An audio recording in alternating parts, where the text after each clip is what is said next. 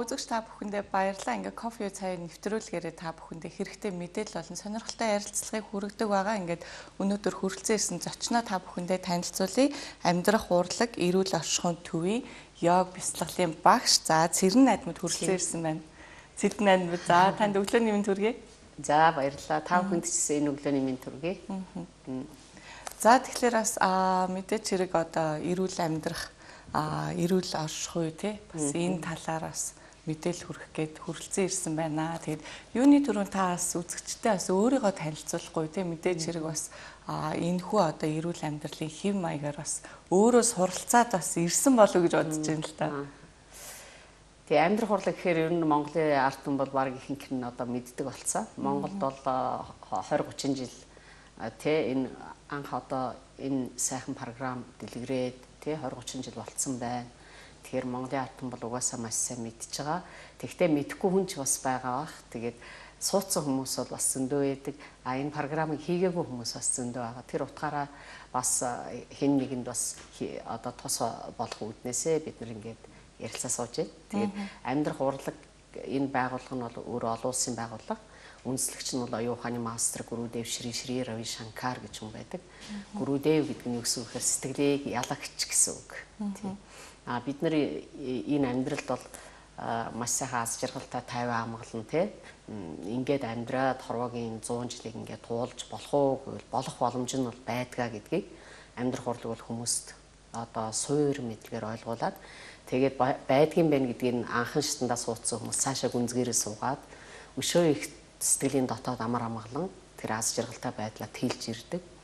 Өөрийн амьдралд одоо хамгийн их саад болдог, сайхан амьдрах гэх саад болоод байдаг өөрийнхөө дотоод оршиж байгаа сэтгэлийн муу чанаруудыг өөрөөсөө одоо цэвэрлэх, тэднийг э, одоо эерэг болгож хувиргах тийм чадварыг л бид нар амьдрах урлаг гэдэг байгаа. Тий, тэгээд амьдрах урлагийн энэ програмд бүх зүйл нь ерөөсөө тэрэнд чиглэгдсэн байгаа. Тэгээ миний хувьд бол намайг цэнднэт гэдэг би амьдрах урлаг бяцлагын хичээлээр одоо 20 хэдэн жил хичээлээд явж байна. Тий анх 90 хэдэн онд суугаад тэгээ өнөөдрийг хүртэл ингээд амьдрах урлагийн одоо хичээл, бяцлагал, йог сургалтуудаар хичээлээд тэгээ 2001 онд бол анх багш болоод амьдрах урлагийн дамжуулагч багш болсон. Тэгээд яах вэ гэхээр одоо багшийн гаргаж ирсэн энэ программыг хүмүүст одоо ингээд чин сэтгэлээсээ тэгээ 100% яг одоо багшийн энэ хилж байгааг одоо зүрх сэтгэлээсээ дамжуулах энэ урлагт бол бас суралцаад суралцахын төлөө бас зорж явна тий. Тийм байна. Аа энийг ингээд бас яг амьдрах урлаг гэд урлаг гэж яг онцлоод байна л да. Тэгэхээр энийг бас хүмүүстэй урлаг гэхээр юу юм те яагаад энэ амьдрал бид нар зүгээр л амьдрал явж явж штэ гэж ойлгоод байгаа штэ хүмүүстэй. Тэг яг яагаад энийг өөрсдөө яг энэ амьдрах урлагийг яг мэдэх ёстой юм. Тэг энэ бас ач холбогдлыг бас мэдхгүй амьдраад байна л та хүмүүс. Тэгэхээр одоо 84 настай нэг эмээ одоо манай нутагт ярьсан байлээ. Тэгээд охин ингээ бичлэг хийгээ тэгээ юу гэсэн гэхээр одоогоос 14 жилийн өмнө би амьдрах урлагийн хичээлийг охиндоо хөтлүүлэн барин очиж ингээд 70 хэдэн 70 гарч байгаа насандаа суусаа. Тэгээ анх охиныг суу гэдэг хань яад ингэсэн амьсгалын дасгал хийн гэхээр за энэ амьсгалж байгаа хүнээр заалгаад байхдаа яадгийн гэж би их том дуурч байсан юм а. Одоо бүр э, тэрэндээ бүр маш их наминчлаад ээ бурхан минь яаж тэгж хэлж чадчихсан юм бол гээд тэгээд байгаа нэг бичлэг байдаг. Тэгээд тэр одоо эмээ бол яасан гэхээр 14 жил эмнэлэгт очиагүй эрүүл явсан.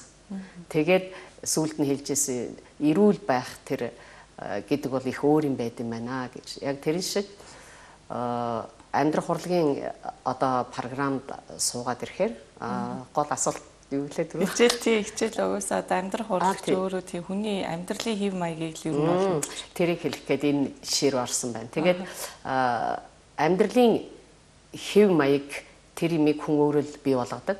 Тэгээд урлаг гэдэг нь юу гэхээр ерөөсөө юу ч ямар нэг юмд ур чадвартай байхыг хэлж байгаа шүү дээ тий. Одоо ууралсан ч нэг ур чадвартай л уурлах хэрэгтэй болчиход байна шүү дээ тийм ээ. Аа инээхэд бол мэдээж хүн зүрх сэтгэлээсээ л инээж ивэл хаач инээж болно. Харин инээмсэглийг ингээд нүүрэн дээр нэг инээгээд өөр нэг газар өөр инээгээд ивэл бас тэр нөгөө инээмсэглэгчсэн тэр хүн зөв хэрглэж чадахгүй байна. Тийм цаанаасаа ингээд өгөгцөө өгөгдлээ шүү дээ. Инээх уйлах гэдэг чинь тийм ээ уурлах бол бас одоо хүний нэг эмоц тий. Тэгээд энэ хүн ингээ насан турш тусмаа амьдралын одоо 70 руу ингээл улам хөл ороод хөлд ороод гიშгэж алхах тусмаа тий 18 19 20 21 гэл ингээл явах тусмаа л яадаг вөхөр хүнээс чадвар шаарддаг. Ягаад тэгэхээр амьдралын одоо эргэн тойрны болж байгаа бүх зүйл чинь бид нар харж байгаа шүү дээ эхлээд нүдэрээ харна, чихээрээ сонсно, тэгээд үйлдэл хийн Тэгээ энэ болгон чи яаж юм гэхээр анх харахтаа л ингээ жоохон хазгай өнцгөөс хараад амьдралыг дүгнээл явчих юм бол нөгөө хүний дотор чинь сонсож байгаа болгоно хазгай сонсогдоод тэгээд л тэр хүний дотор нэг буруу хэв маяг сууж ирэхийг үгүйсэхгүй гэсэн.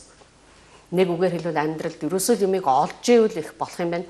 Ерөөсөө би их мөнгөтэй л олчвол болох юм байна гэж бодол ингээд төрлөө гэж бодъё тийм ээ. Тэгээд төрөнгүүт нөгөө хүн амьдралын бүх юмыг л мөнгөөр хардаг болчих жишээтэй тийм ээ А тэгээд хитрхи их тэр мөнгө эд материалаар юмыг харчаар нөгөө хүний дотор төрлөх сайхан нөгөө нэг хайр, амар амгалан, баяр баясгалан гэдэг нөгөө агуу бүр энэ амьдралын 100 жилийн туршид бүр хэрэглээд барагдахгүй тэр нөгөө сайхан юмыг амьдралынхаа ихэнх цаг хугацаанд хэрэгжилж чадахгүй дандаа тэр материалтай холбогдсон зүйлээр ингээ явчихаар нөгөө хүн чинь ихэнх амьдралынхаа 100 жилийн ихэнх цаг хугацааг зовлонтой өнгөрөөчихөж байгаа. Тэгээд одоо багшийн энэ үнсэлж бий болгосон аз жаргалын хөтөлбөр буюу үндсэн курс а шири шири йогийн курсүүд гэ тэгээ цаашаа гүнзгийрэд явна цахай самади бяцлаглалын курс гэдэг ингээ явчихна а эднэр яах гэж гарсан гэхээр бид нар энэ хорвоо төрлөхөөсөө ирсэн тэр сайхан төрлөх чанаруудаа биендээ эд эсэндээ илүү тэтгэж сэргээж тэгээ трийг амьдралдаа илүү хэрэглэх гэж л одоо энэ програмууд гарсан байна. Тий. Тэгээ энийг л урлаг гэдэг. Ур чадвартай амьдарч байна гэж. Тий. Амьдралаа одоо ямар нэгэн нөхцөлд маш их тийм бухимдалтай орчинд орсон ч гэсэн өөрийнхөө төвдөө байх, ганхахгүй байх, тайван тэр одоо имийг хараад тэгээд тайван байгаа хүний дотроос дандаа зөв шийдвэр гарч идэг. Аа эмоцтой тэр дагаж одоо хитрхи их баясах, хитрхи их уурлах төрт бол ерөөсөө хизээч зөв шийдвэр гардаггүй. Тэр зөв шийдвэрийг гаргахад хүнд мэдрэмж хэрэгтэй байдаг. Мэдрэмж гэд нэг бас нэг том зүйл байгаа. Тэгээ мэдрэмж дутагдсаас олж л хүн ер нь амьдралд алдаа хийн өөрийгөө сэтгэлийн буруу жолоодлогонд оруулна те юмд чунах үсэх те үзэн ядах уурлах ийм байдал руу орчдөг. Тэгээ тийм байдал руу орсон хүн мэдээж яах вэ? Мэдээж зовлонтой амьдрын шүү дээ. Бид бүх өөрсдөө л одоо зовлонгоо тэгээд яваад шүү дээ. Тэг илүү их одоо юу гэдэг энэ дотоод сэтгэлээрээ тэг яг одоо яг ирсэн тэр өөрсдийнхөө мөн чанараараа бас амьдарч чадахгүй байна л да тийм. Гадаад ертөнцийн рүү хитрхи ингээд анхаарлаа хандуулаа тийм яг өөрийнхөө амьдралын аз жаргалын хэв маяг юу юм гэдгийг яг мэдрэхгүй байгаад нь л да тийм. Энэ одоо мэдээч хэрэг сургалтаар дамжуулаад эн чинь одоо төрөүний тэр даал гарсан эмээгийн одоо яг яриа болвол тийм хүмүүс тийм тэр амьсгалын тасгалыг заавал хүнээр заалгаа. Тий би өнгөрсөө одоо хөвшөрцөн тий одоо хизээч баг тэр дадал зуршил юу гэдэг тий амьдралын хэв маяг өөрчлөгдөхгүй гэсэн ч гэсэн тий 10 хэдэн жил яваа. Тий өөрөө тэр зүйлийг мэдрээд ирсэн байна шүү тий Тэгээ өөрөө бүр ярьж байсан шүү дээ. Миний ингээд тонгоохоор бөөр татдаг. Тэгээд одоо хүн тэнд найтаж ивэл би ханаа төрдөг байсан. Тэгээ одоо би 10 хэдэн жил би одоо хөдөөгөө аргал түгээл малаа хараад явж байгаа. Одоо тэр янз бүрийн өвчнүүд бүгд байхгүй болсон гэж ярьж байгаа. Тий. Тэгэхээр энэ амьдрал хурлын гаргачихсан энэ цогц програм хүнд яагаад ийм их ач тустай байна? Яагаад ийм хэрэгтэй вэ гэхээр энийг бүр мэдтсэн хүн нь өөрөө үнслээд бий болгоцсон. Тийм үү? Бид нар 10 жилд ингээд ямар нэгэн түүх газар зүй математик хичээл заалгая гэвэл тэр хүн заавал их сургууль 4 жил 5 жил сурсан хүн ирж заадаг. Тэ тэрний цаана багш байдаг тэр багш тэр хүн заасан байдаг. Тэгээ тэр мэрэгдсэн байдаг. А яг тэрнтэй адилхан одоо энэ амьдралын э, одоо амьдралын урлагийг чинь тэр хүн мэдсэн хүн байна. Мэдээд ингүүл та нар энэ 100 жилийн хугацаанд эрүүл сарвал байна, аз жаргалтай байна, амар амгалан байна гэдгийг зааж өгöd байгаа. Тийм. Тэгэхээр бас яг одоо энэ амьдрах урлаг тийм энэ бүр дамжуулаад яг хүмүүс бол бас яг байнгын сонсож жоохон зүг юм болов гэж бодож байна л дээ. Мэдээч хэрэг бид бүхэнд одоо байж байгаа ойлгож байгаа тий. За амьсгалах нь мэдээч хэрэг ойлгомжтой тий. Тэгвэл энийг яг ингээд дадал зуршил болгоод ч юм уу тий чадахгүй яваад байна л да. Тэгэхээр бас яг энэ сургалт нь бас их ач холбогдолтой юм болов гэж. Сургалт маш их ач холбогдолтой. А өнөөдөр ингээд 20 хэдэн жил 10 хэдэн жил 5 жилийн өмнө суудсан гэж зөндөө хүмүүс байгаа Монголд. Тэгээд нэг удаа суудсан хүн бол яадаг ч гэсэн дотор нэг оч өсөрцөн явдаг. Хизээд 10 жилийн дараа ч хэлсэнгүй нэг тэр үед нэг яг тэгж хэлжсэн шүү. Нэрээ тийм шүү гэсэн оч өсөрдөг. А огт суугаагүй хүмүүсийн хувьд бол огт мэдэхгүй. Тэгэхээр анх анхны тэр анхан шатны тэр аз жаргалын хөтөлбөр ширээ ширээ йогийн курсүүдэд суучаар а энэ йогыг хийснээр миний биед ийм хэмнэл тогтож байна. А аз жаргалын хөтөлбөрийг хийгээд би яаж юм гэхээр энд цогц ийм амьсгалын дасгал байна. Амьдралын мэдлгүүд байна. Тэгээ бусад одоо энэ амьдралын энгийн ийм практикуудыг тэр 5 өдөр ингээд мэдрээд байна. А ингэвэл ингэдэм байна. Би хүнтэй ингээд сэтгэлээсээ ярил энэ хүн сэтгэлээсээ ярьд юм байна тий а би хуурмаг зан гаргавал энэ хүн ч гэсэн намайг хуурахад бэлэн байд юм байна тийм ээ? Ерөөсө хүний энэ зовлон чи өөрийнх нь дотор л байгаа шүү дээ. Тэгээд өөрөө ингээ хууртчихад ингээ тэр намайг хуурсан муухай хүн эдэргээд байх юм бол тэр хүнд биш өөрт нь байдаг. Тэр хуурцсан хуурмаг зүйл нь өөрийнх нь дотор байсан учраас тийм одоо мэдрэмжийг хүнээс авдаг байх нь шүү дээ. Тэгэхээр хүний одоо өнөөдөр амьдрал төөрөлдөж байгаа нэг хамгийн гол юм нь юу гэхээр ерөөсөл бусдаас бүх юм болж гин гэдэг асуудал аа. Тий. Тэгээ одоо ингээл хүнийг ажиглахад ямар нэгэн үйл явдал болохын өмнө ямар нэгэн зүйлд ингээл хүн ерөөсө өөрөө л адгаал улайраал яараал тий мэдрэмж гэж байхгүй тэгэл тухайн үед нь одоо тухайн хүн өөрт нь их сайн юм шиг үйл энэ л одоо насан туршийн сайн ч гэж бодчих тийм үү тий Энэ идэр байдлаасаа тэгэхэр чин тэр чин хүний сэтгэл эмоц гэдэг чинь байнга өөрчлөгдөж байгаа шүү дээ. Нэг одоо үедээ өөрчлөгдөл, нэг үед сайн бол, нэг үе муу болоод ч юм явдаг. А тэгвэл амьдрах хурлаг тэрийг яадаг вэхээр энэ болгоны гэрчин юм шиг харж чаддаг. А хүний сэтгэл ингэж өөрчлөгддөг. А нэг хүн өнөөдөр намайг орой тултал бараг л бурхан гэж явж исэн бол маргааш нь чөтгөр болгож болно.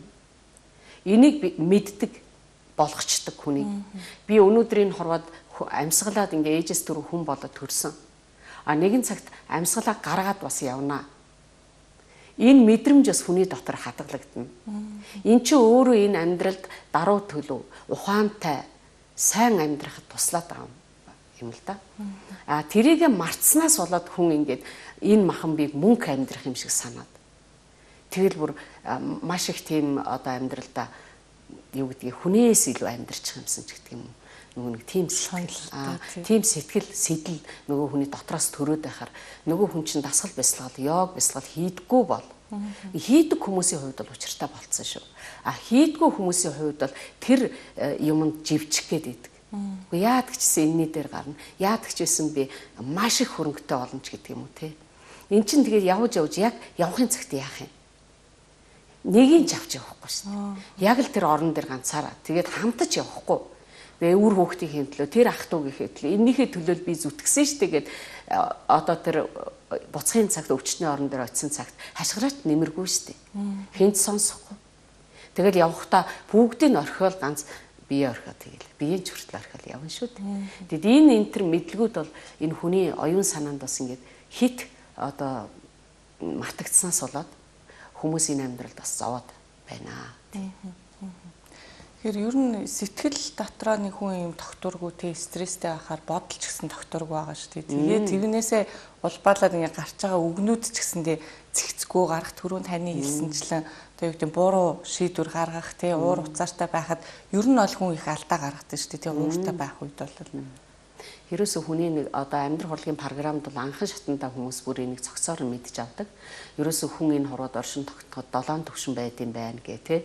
Тэрий чинь нөгөө амьсгалын дасгалтай, бясалгалтай, йогтай хийчихэр зэрэг бүр хүний ингээд толгооноос зүрхэнд очиж суuna л да. Тэгээд ирэхээр тэр хүн аа за за би ч одоо би өвдөл хүнээр эмчээр очоо эмчлүүл чинь ерөөсө тэгэл өөрийнхөө биеийг мартаал тий. Аа биний сэтгэл болохоо байвал нэг үзмэрч ямар нэгэн том мэддэг хүн дээр очиад асуулчихна гэж бодоод яваад идэг. Аа тэгэл гүйжил байгаа нь хүмүүс тэгтэл болохгүй юм болоод ирэнгүүтэл тийм тусламж аврал хайдаг. А гэтэл яг үнэндээ амьдрах урлагийн програмыг хийгээд ирсэн хүмүүс бол тэр аврал чинь миний дотор байд юм. Өөрөө. Хүнээр очиж засуулаад гэдэг чинь хүнээр хэртээ хуцаа угаалгаж байгаа төдийл юм штэ. Тэгэл дахиад хэртээ штэ тэр. Ягаад тэгэхээр тэр хүний дотор тал цэгцлэгдээгүй. Химнэлдээ ороогүй. Тэгээ амьдрах урлагийн анхан шатны програм дээр яадаг вөхөр Сударшин Крия гэдэг бүр гайхалтай тэр техникийг анх 1982 онд одоо энэ үнсэлсэн багш өөрөө бясалгал хийх явцад нь дотроос нь гэж байглаас орж ирсэн. Тийм тусламж мэдээлэл байна. Тэгээ тэр дасгалыг өнөөдөр амьдрах урлагийн хичээл суусан хүн болгон тэр амьсгалын химнэл дасгалыг хийгээд байгаа. Тэгээ хийгээд ирэхээр би чи ер нь хинбэ гэдэг рүүгээ илүү сайн хардаг. Өөрийн эрэхгүй харж Тэгээд өөрийгөө зас залруулж эхэлнэ. Бид нар хичнээн олон 100 лам тойроод ингээл таны төлөө ном уншсан гэсэн тэр хүмүүсийн сайхан сэтгэл нөлөөлнө. Тэр сайхан уншиж байгаа ном нөлөөлнө. Э, тэр уншиж байгаа мантра, гоё үгсүүд. А гэвч тэр үедээ тэгээ нөлөөлнө. Дараа нь та магадгүй сар сайхан явж болно. Дахиад хоёр дахь сараас дахиад засуулах хэрэгтэй боллоо гэсэн бодол орж ирнэ. Тэг ингээд насаараа хүнээс ийм дандаа юм уу ийм царай одоо хүний царай харж амьдрна гэсэн үг шүү дээ ер нь бол тийм үү. А гэтэл амьдрах хурлын програмыг хийсэн хүмүүс дасгалаа хийгээл өөрөө өөртөө хийгээл ингээд яваад байхаа. Ерөөсө хүн рүү ингээд намайг тэгээд өгөөч ингээд өгөөч гэдэг байдал ерөөсө ерөөс багсаа явчихдаг. Ямар ч хүн тэгдэг те ер нь ямар ч юмд ингээд бүшгтэн тагтсан байсан сэтгэл ч гэсэн засардаг. Аа эн чинь миний чинь мухар сүсэг байсан юм байна Аа ингээд ирэхээр эн чинь жинхэнэ өөртөөгээ ажиллаад ирэхээр ийм болд юм биш.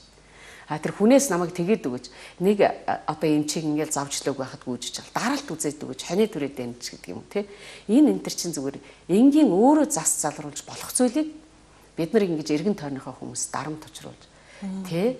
Надад ингээд ном уншаад өгөөч гэл нэг хүн дээр очиод ийн гэдэг чинь өөрөө тарих мэдрэл оюухан гэдэг юм өөрт нь байхгүй юм шиг хандаад байна шүү дээ. Гэтэл өөрт нь бүхэл бүтэн цогц юмыг хорвоо өгцөн байгаа шүү дээ. Энэ хорвоод энүүгээрээ ингээд маш сайхан амьдраарыг өгцөн байж хахад тэгээд э, тэр болгоныгоо бусдаас ингээ гаднаас авдаг гэд ойлгоцсон. Ингээ яваад байгаа. Тэгээд амьдрах хурлын програмыг хийсэн хүмүүс тэр байдлаас ангижирдаг. За эрүүлжсэн хүн зөндөө их байгаа. Амьдрах хурлын програмыг хийцэн дасгалыг хийсэн хүмүүс бол одоо э, өөрөөгөө харах юм бол нэрээ би амьдрах урлагт явсаасаа шүрн их өөр болсон юм байна гэдгийг анзаарна мэддэг. Түрүүн бас хэлж нөө хандлага тий би өөрөө яг ямар өнцгөөс харах уу гэдгээрээ тий тухайн одоо хажууд байгаа хүнээ тий өөрийнхөө эсрэг байгаа хүнээ яг тэр байдлаар харна. Энэ айгүй чухал юм шиг санагдаж байна л да. Тий яагаад тэгэхээр би өөрөө докторгүй амьдралтай тий уур уцаартай стресстэй байх юм бол бүх зүйл яг тиймэр л харагдаж байна гэсэн үг шүү дээ. Тийм шүү дээ. Ер нь ингэдэг шүү дээ. Одоо ингээд эрэгтэй эмэгтэй хоёр хүн тайсан дээр дуулангууд энэ хоёр суудсан юм гэдэг шүү. Тэгэл эрэгтэй эмэгтэй хоёр хүн жоохон хамт явал юм хийхээр энэ хоёр зүгээргүй баха гэл тий. Энд яаж юм гэхээр тий энэ маань маш их амтналаг зүн байхгүй. Амтнал тэгж харна. Ер нь амтан бол бас 90 хүмүүсээ таниад идэв шүү дээ. Тий. Яг тэрнтэй адилхан. Аа тэгтэл үгүй энэ хүмүүс ингээд хамтаар их хэмиг бүтээж юм ч гэдэг юм уу нөгөө сайхан талаас нь эерэг талаас нь бүтээлч талаас нь одоо харж байгаа зөндөө ариун хүн байгаа шүү дээ. Тэр талаас нь харж байгаа хүн бол тэр талаас нь л харна.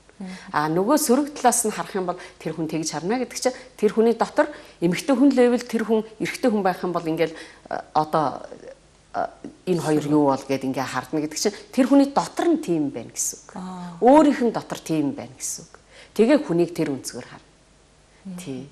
Өөрийнх нь дотор одоо ингээл хүн намайг юу гэх бол гэсэн бодол их явдаг хүнд. Хүн намайг юу гэх бол юу гэж байгаа гэх тий. Тэгэхээр тэр айц яагаад байдгийг гэхээр өөрөө яг тэр хүний зөв хэм маягийг сайн эзэмшиж чадаагүй байна л гэсэн. Сайн эзэмшээд яг зөв амьдрал гэж энэ зөв санаа гэж энэ зөв юм гэж энгээ мэдчих юм бол хүнээс тэгж айц байхгүй яг юунд айх юм? Би хүнд ингэж гим хорлолгүй, муу юм бодлого, тий хүнд муу санаад сандгүй, бардамзангүй ингээд дараахан мөртлөө ухаантай ингээ амьдраа явж байгаа бол та юунаас айх юм? Хин нэгэн хүн таныг яг ингэ зөв амьдрч байхад үгүй чи тэгж амьдраагүйгээ хашгирсан ч гэсэн тэр чин э, тэр хүний проблем биш шүү дээ тэр харж байгаа өөр өнцгөр харж байгаа хүний тэр хүний проблем байхгүй юу? Тийм ээ? Тийм байна уу? Тийм учраас тэрэндээ ч гэсэн санаа зовох зүйлгүй шүү дээ. Хүн намайг юу гэж ярьж байх нь ямар ч хамаагүй шүү дээ. Тэгээ би өөрөө л зөв байхт болоо. Яг зөв тийм. Энийг амьдрах урлаг хүмүүст олгодог. Яг энэ ойлголтыг мэдрүүлдэг. Тэгээд амьдрах урлагийн нэг онцлог нь бол дээд тал нь хідэн ч настай хүн сууж болдог. 80 90 настай хүн сууж болно. А жирэмсэн хүмүүс бол харин тодорхой тухайн одоо багшаасаа зөвлөгөө авж байгаа суух уу суухгүй юу гэдгийг шийдэж болдог. А тэгээд сэтгцэн бас яг юутай өвчтэй байх тохиолдолд бол бас суухгүй. Ягаад тэгэхээр нөгөө хүн чинь ярьж байгаа хэлж байгаа юм ойлгохгүй шүү дээ. Бүрэн дүүрэн хүлээж авч чадахгүй учраас сэтгцийн тийм үе үе одоо өөрчлөгддөг ч юм уу те ийм хүмүүс сууж хэрэггүй гэж үздэг. Тэр хүмүүс бол яг тэр өөрийнхөө нөгөө эмчилгээнийхээ замаар эмчлүүлээ явуулж болно гэж. А тэрнээс бусад тохиолдолд ямар ч хүн сууж болдог. Тэгээд нэг зүйл санаанд ороод ирлээ. Хүний бие өвдөнгөт хүн өөрийгөө юу гэдэг вэхээр би тийм өвчтөй хүн гэж оншилдог. Өөрөө төрүүлээ. Тий. Тэгээд тэр оноч ч өөрөө тэр сэтгэл зүйн асар их дарамт болж а хүний махан бие бол 10% өөр гүйцэтгээд байдаг. А сэтгэлэн би нүдэнд харагдахгүй тэр сэтгэлээр имийг боловсруулж боодож ингэж байгаа юм чинь 90% үүрэг гүйцэтгэдэг учраас а тэр сэтгэл оюуныг оюунд байгаа тэр хэрэггүй дарамт бодлуудыг цэвэрлж явах нь хамгийн чухал. Тий. Ямар нэгэн компани захирал байлаа гэхэд тэр хүн тэр компанийг маш хөгжүүд цэцгэлүүлээд авч явъя гэвэл тэр хүн гэгээлэг байхаас өөр ямар ч арга зам байхгүй. Бясалгал хийхээс өөр арга зам байхгүй йог бясалгал хийж нэгдүгээр тэр хүн бие эрүүлэн хоёрдугаар тэр хүний сэтгэл зөв хэмнэлтэй. Ийм нөхцөл тэр дотор мянган ажилтан байсан ч гэсэн хэдэн 500 таныг үгүйсгдэг байсан ч 500 дэмждэг байхад тэр 500-ийн дэмжлэг нь танд илүү хүчтэй тусна гэсэн үг. А өөрөө сөрөг байх юм бол танд 100 ажилтан байхад 70 80 танд сөрөг хандна. Яагаад тэгэхээр өөрийн дотор тэр сөрөг зүйл байгаад байна шүү дээ. А ийм холбоотой бид нар хоорондоо. Түрүүн бас та маш чухал юм хэлээ л дээ. Тийм махан би одоо энэ гадаад ертөнцийн 10хан хувийг тий. Дотоод сэтгэл зүй бол 90% гэж байна. Тэгэхээр бид нар яг энийг бол эсрэгээр нь хийгээд байна л да тий. Бараг энэ гадаад биеийнхаа энэ одоо юу гэдэг тий хүсэл эндээ бараг 90% зарцуулаад тий сэтгэл зүрхэндээ 10%-ийг зарцуулаад шүү дээ. Яг боддоор бол тэгэхээр ирэхэр чи яг хүн өөрийн амьдралын энэ хев маяг тий одоо энэ яг яа юуны төлөө амьдарч байгаа юм гэсэн яг одоо зорилгоо мэдхээ болцсон амьдрал яг төөрөлдчихэж гин гэсэн. Нэг үгээр л амьдрал бидэнд дуулна ингээд анх ээжээс төрүүлээд энэ эхийн хөвлөд ингээд үс хумс нүд биеийн бүрлдээд ирж штэ энэ ч бас гайхалтай хүч байгаа. Энэ хүний хумс үсийг ургуулад ийм хэлбэртэй ээж аавын генээс ингээд уурайлгаад ингээд хүнийг бий болгоно гэдэг чинь тэр хүч хаанаас гараад байгаа. Тэр хаанаас ирсэн хүч вэ гэдэг та нэг бас эргцүүлээ бодоход илүүдэхгүй Тэр чи ямар нэгэн энерги асар их хүч байж тэр бүрэлдэж штэ. Энэ гариг ирэхс сансрын эрчим хүчний асар их хүч байж тэнд бүрэлдэж штэ. Түүнээс ээж нь ингээл дор нь ингээл нэг хоёр одоо эс нийлээл ээж нь өөрөө суугаал өсгöd байгаа зүйл биш байхгүй. Тэгээ гараад ирсэн хүүхдийг гэсэн бид нар ингээл өсгöd байгаа биш. Бид нар өөрсдөө өсөж байгаа шүү. Тэгээ тэгтэл бид нар өөрсдөө өсгөж яах гээд андуурчдаг. Тэгэл нөгөө хүүхэд энтертэй их дарангуулал те чи миний хүүхэд юм чинь тэгж яах хэвээр ингэж яах хэвээр ч гэх юм уу те. А хүүхдүүд нь ч гэсэн би чиний хүүхэд яасан ч яад ингэж ээж аав руугаа бас ингэж та тийх ёстой. Та бидрийг хүмүүжүүлэх энэ төр гэ те. Эн чинь нөгөө нэг тэр химнэл алдагдаад байна л да. Тэ. Тэгэд тэр хүч чинь тэр хүч чинь өөрөө энэ амьдралын 100 жилд бидрийг авч явж байгаа байхгүй. Тэгэхээр нүдэнд харагдахгүй. Unseen power гэж яриад байгаа шүү дээ. Одоо юугаар бол англиар бол нүдэнд харагдахгүй тэр нэгэн хүч тий. Тэгэл одоо эндээс босоод гарахад эн чин хүчний тусламжтайгаар босч гарч байна шүү дээ. Энэ энэ биед тийм паран байхгүй, тийм паран гэдэг нь эрчим хүч хэлж байгаа. Тэр хүч байхгүй бол яах вэ? Би босмоор байна, босмоор байна гэж суугаад байна шүү дээ. Тэгэхээр тэр хүчийг хүн өөртөө байнга сайхан соргог сэргийг бүрэн дөрөв авч явахад хүнд дөрвөн хүчин зүйл нөлөөлж байгаа шүү дээ. Хоол зөв байх, нойр сайн байх, тэгээд амьсгал тэнүүн байх. Тэгээд сэтгэлийн төвшин чинь маш их гоё тийм аз жаргалтай, мэдрэмжтэй амьдрах гэж байгаа. Сантоша гэж байгаа. Санскритаар. Энэ юу гэсэн үг гэхээр нэг зоригтой баярлдаг биш. Өө их мөнгөтэй олчлаа ямар гоё. Өө гоё том машин авчлаа ямар гоё. Өө мөнгө байхгүй би хэрэг халга ингээд нөгөө эмоцоор ингээд нөгөө нэг эргэн тойрныхоо өөрчлөгдөж байгаа юмтай ингээд холбогдчиход байна шүү дээ. Энэ бол сантоша гэдэг тэр оршихуйн тэр баяр жаргалтай байх оршихуйгаа алдчихад байгаа. Аа тэгвэл над өнөөдөр мөнгө байхгүй гэж болно сантоша нэмсгэлж болно. Яг байхгүй гэж болно өнөөдөр байхгүй маргааш байна. Аа би өнөөдөр том машин авах гэсэн чинь чаддаггүй гуниж гутраад яах вэ? байж болно.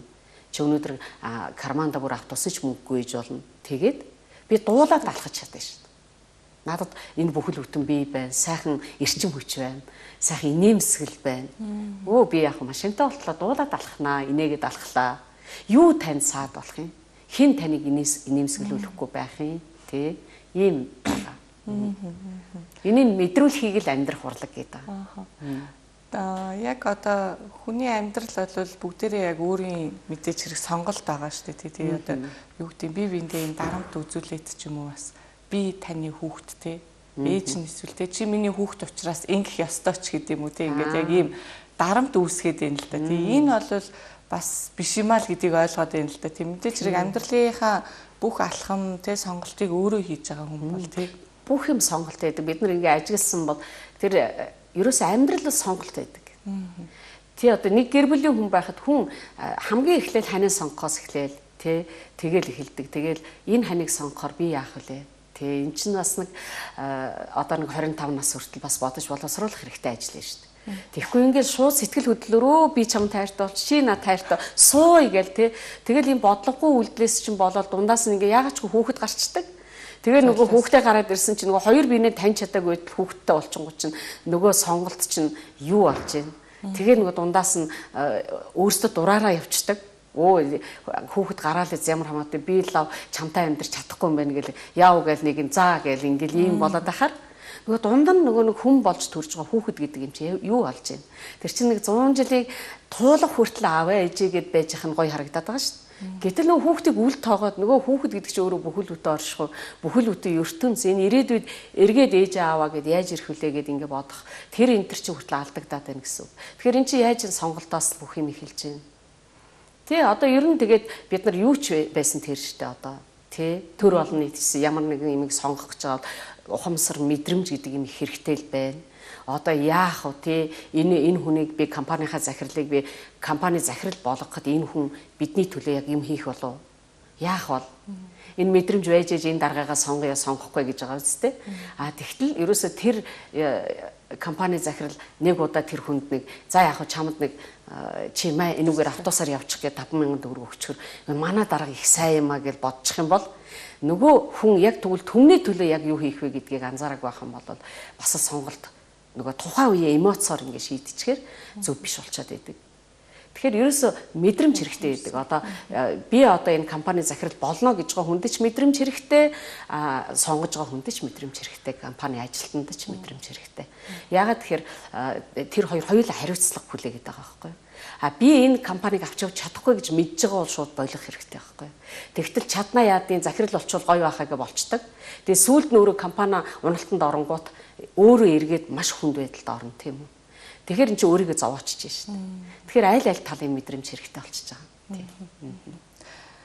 За мэдээч хэрэг бас амьдрах урлагийг бас тэгээ зааж иж бас хүн бас энийг ойлгох нь тийм мэдээж хэлж байгаа ч гэсэндээ хүмүүс байдаг хэрнээ яг одоо биелүүлж өөрийнхөө бие дээр дадал зуршил олгож чаддгүй байгаа. Тэгэд бас сургалтын талаар бас үзэгчтэй бас хэлэхгүй тийм. Мэдээж одоо танхимын сургалт байдаг байгаа тийм. Байдаг байдаг тийм. Монгол бол одоо ерөөсө 200 гаруй багштай шүү дээ. Их олон сайхан багштай байдаг. Дамжуулагч нар л да дандаа дамжуулж багшаахан тэр програмыг хүнд хүргэж өгдөг хүмүүсийг хэлээд байгаа юм л да.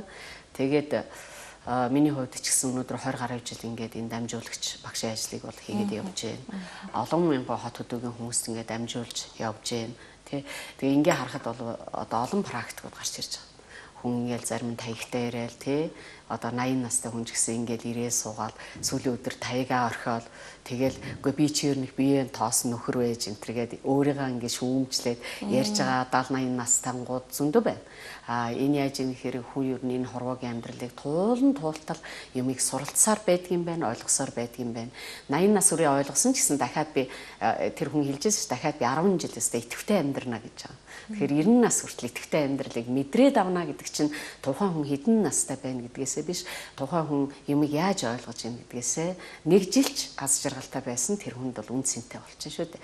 Тэгэхээр ийм одоо үр дүнгууд бол ариун байдаг. Тий толгооны өвчнөөс саллаа, нурууны өөрний өвчнөөс саллаа тэглээ гэд. Тэгээ тэрний нэг тод жишээ яг одоо хүмүүст бол ингээд ямар барьцгүй нэгэн жишээ хэлсэнээс би өөр өөр жишээ авах тийм байж тээ. Би одоо анх 20 хэдэн жилийн өмнө тий 90 хэдэн онд ингээд суучхаад би суухаас өмнө яадаг нүүр ингээд бөөр өвдөөл нүүр хавганчдаг ийштэй хоол явуулж чаддггүй тэгээ толгой их өвддөг сүултээ ингээд таллаа өвдөн хүнээр бариулна одоо ийм иймэрхүү биений юм юмуд байсан 10 жилийн багш байсан. Тэгээ нөгөө хүүхдүүдтэй ажиллана.